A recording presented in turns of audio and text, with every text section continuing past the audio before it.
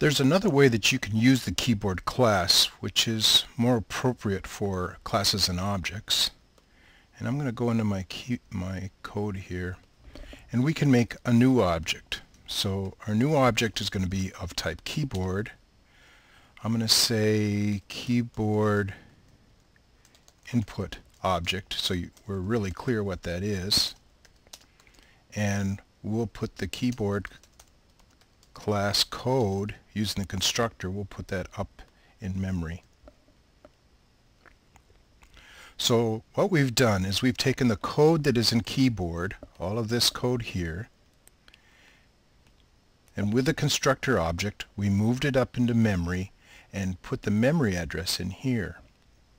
So now instead of calling the class directly, which isn't normally good form, we use our object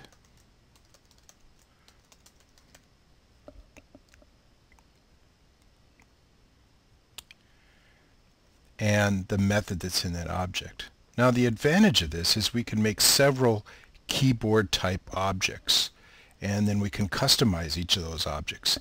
In this example that isn't necessary, but that's why we go through this extra step of making a copy in memory, calling it an object. We can usually customize that object and then use that object with its methods. And now if I run it, type in a price, and see that it works the same. Ah, but we have an error here, so I'm going to mouse over, and it says the static method read float from the type keyboard should be accessed in a static way. Well, what that means is notice here that our main method has the keyword static in it. That means that tells Java that there's going to be one copy of this method. And if we look in our keyboard class, we can see that indeed each method has static in it, which means there's only going to be one copy. And when we do this standard way of making new objects, we can make several new objects. So that would result in several copies of read float, which goes against the static keyword.